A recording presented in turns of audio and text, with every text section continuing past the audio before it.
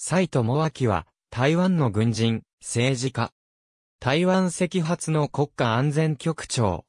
陸軍軍艦学校31期卒業。1983年の中東南アジアの軍事代表任命以来、20年以上軍事情報部門に勤務した。1987年、少々、国防部情報次長室所長として、軍事戦略情報を主管した。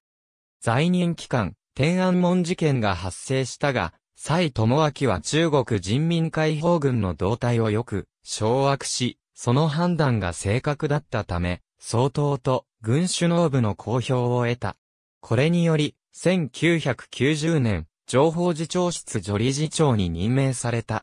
その後、中将に昇進し、中国に対するシグイントを担当する国防部電人発展室の主任となった。1997年2月、国家安全局副局長に任命された。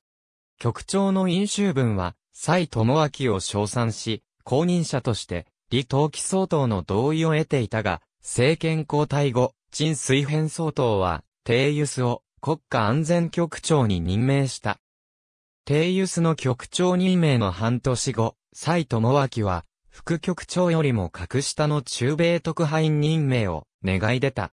2001年初め、アメリカより帰国し、7月に国家安全局主席副局長となり、その後正式に国家安全局長に任命された。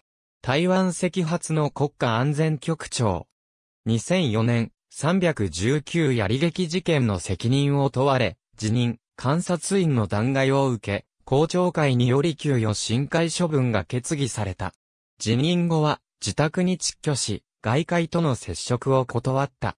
2008年6月、馬英九総統は、情報業務に通じた、蔡智明を国家安全局長に再任した。2009年3月、病気を理由に辞任。ありがとうございます。